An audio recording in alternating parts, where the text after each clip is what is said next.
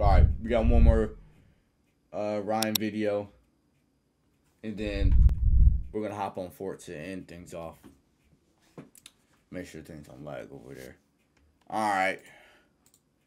So obviously, as y'all know, my boy Ryan, in last video, he got a truck from a motorcycle, from speakers, from you you know the rest.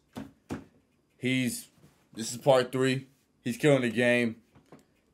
He's gonna get that house. He might even get it this episode. Every time someone hit that follow button, five push-ups. Man, man, man. It might be time for a new intro, by the way, too. I just want to say that. Anyway, This is a penny. it's not about me, it's about Ryan. I'm turning it into this house in one week. Goodness. Okay, probably a different house. Three days ago, I had a penny and traded for a pen. Then a blue Yep. dinosaur. Then this. Then this. Then this. Then these. Then a motorcycle that needs a lot of repairs. Then a 20-year-old truck. And now it is day four of seven. I have a 20-year-old truck with 330,000 miles on it and no leads at, at all. I spent most of day four on Sheesh. my computer and making 300,000 miles, you know. Hey Fonzie, I'm just leaving a message about the tiny home. If you could call me back, that'd be awesome. Thanks so much. Bye bye. It's definitely a work truck for sure. It's you know it runs. Yeah, I'm just uh, I'm just on a bit of a timeline, so it's got over 330,000 miles. But you, I, I basically can't tell. yeah. Hello. I have approximately hello. two hours remaining to turn this truck I'm driving into a house, and I've got a trade idea. Maybe Judy's husband will want to trade his boat now. On day one, I was walking to Judy's garage sale with a pair of gas station earbuds. Now I'm driving there with a truck. if you didn't watch episode one, we traded for this nice woman named Judy's vintage Polaroid, and you probably know by now that we love Judy. Well, so does a We love Judy. Gerald. We love Judy. I want to be in the intro. I'll think about it. Yeah, I gotta, I gotta get that intro done. That's all I'm saying. her husband. I gotta get another one. And on day one of our challenge, Gerald showed us this boat he's trying to get rid of. And obviously, we didn't have anything to trade him, but now we do. Howdy, Mr. Gerald. Hey. Hey, you, re- you ready to look at the boat? Yeah. And then we looked at his 1999 Cobalt. 99. Okay. That is nice, Gerald. I don't know anything about boats, but I was impressed. hope he I don't truck. know a clue about boats Okay, either. close your eyes. Three, two, one. I already have a Tundra. Oh, Ah, tough. You have a Tundra? That's mine over there. Oh, that's a newer one. Yeah, I've got a Tundra. Gerald may not be interested in our used car, but now I know someone who would. A used car dealership. That's facts. I'm here with Eric, and he's our CarMax rep. He's gonna help us try to find a trade-in. Eric looks younger than Ryan, and Ryan looks really young, dude. Ryan's like, I think, like, what early 20s is like 22, 23, right? So, what do you think we could maybe get for that? So, equivalent cars might be a little bit tough for just a truck. My dad always taught me two things: to believe in myself, Yep. and to never trust a used car salesman. So I Okay. found a car that I liked myself, and then asked Eric if he would do the trade. After talking to Porsche? his manager for a while, I needed answers. So, do you think there's gonna be anything that we can do? Absolutely not. He said absolutely not. That was my plan Tough. B, and it failed. I only have one more idea, and that's standing outside one of my favorite barbecue places and explicitly asking truck owners to make a trade on the spot. All right. Hey, nice guy. He said for that. I spent an hour here, and no one with a truck even pulled up. That's when an employee kicked me out. You good? What are you even doing, bro? One thing's for sure. What are you even I'd have doing, to bro? Be an idiot to eat at this barbecue place ever again. Just watch what happens next. Into a house. Pretty funny kid. My buddy saw him downtown asking to trade breath mints. Yo, that's that's actually lit. Imagine they talk about you on the radio. I mean, it, it might be a small town, but you're still on the radio. That's kind of fire. Wow.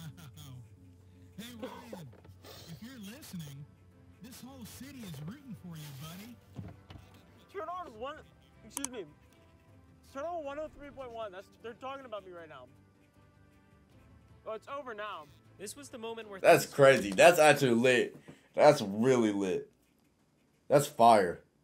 Just going on, you know, the radio station, just you know, and then just hear your name. turning in my direction. That's lit. I got an email back from a man named Rex, who trades cars for a living. He has a 1997 Chevy Suburban that looks, frankly, insane. And after hearing about my mission, he says he would be open to trading for our Tundra. I live in He- Dallas. He lives three hours away. Damn. But this truck has driven a lot more than that, so screw it. This Facts. thing might break 300,000 miles, chance of a boy. Lifetime. And three hours of sketchy driving later, I found myself in the presence of greatness. I learned how to oh drive Oh my a gosh. 1997 Suburban, but it was not like that.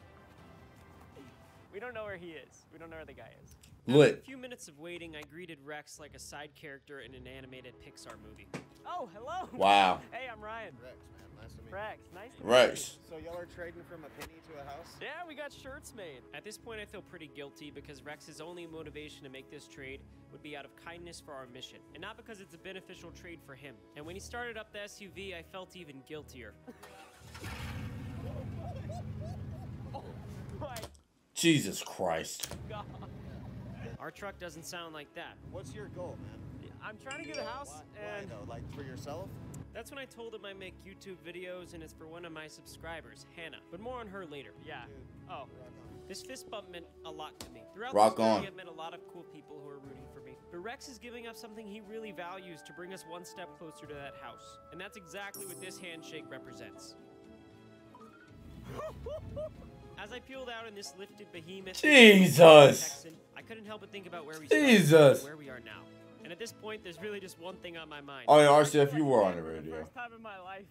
On the night of day Oh, you're on the news, we have one too. the Coolest cars I have W Rex. W Rex. My goal for tonight is to find someone that likes fully modified vehicles from 1997 SUVs in particular. The only thing I was in was um the newspaper. That was it for my uh for like the city. That was pretty much it. It was like for football. That was it. Who's willing to trade me something bigger and better that That's probably like the biggest thing for me. Okay, obviously I went to sleep, but you can't lie. That was a cool transition. Wow, I'm not cool. We'll get some coffee. Hi, can I get a Marco, you Siciliano cool. Come on, man. Oat milk, an extra shot of espresso, whipped cream, caramel drizzle, sprinkles, pumpkin spice, and a little bit of honey. Hello? The Starbucks employees were shocked to see my sexy truck after hearing my order. I did spend a lot of last night online looking for potential trades in this area. By the grace of God, I was able to get in touch with a man named Fonzie. He's a local builder who makes tiny homes and sheds and stuff, and he's interested in our SUV. Nice to meet you, man. How you doing? He looked tired. You're in there? Yeah, that's the way it goes. McDonald's. Yeah. Okay. What the fuck? What is?